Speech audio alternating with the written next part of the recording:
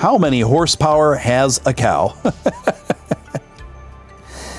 uh, that was perhaps enough for Musk to respond in exactly the same manner that Lumen mentioned the SpaceX and Tesla CEO.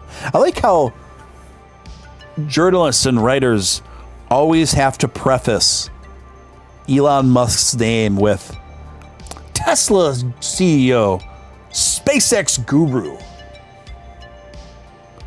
Like, motherfuckers, we know who Elon Musk is. We know, okay? The whole world knows who the Elon Musk is. You don't have to preface it with Tesla CEO or Tesla tycoon billionaire. By this stage, it's so annoyingly redundant and painfully obvious.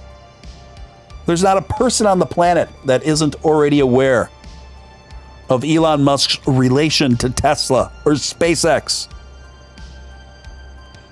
Just say Elon Musk. Just say Elon Musk.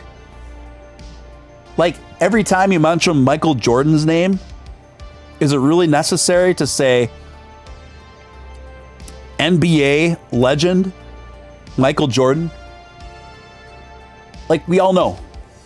We all know. Sorry, that's just a pet peeve of mine.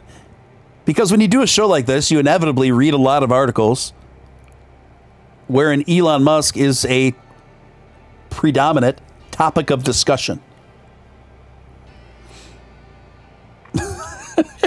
it's quite the little tangent, wasn't it?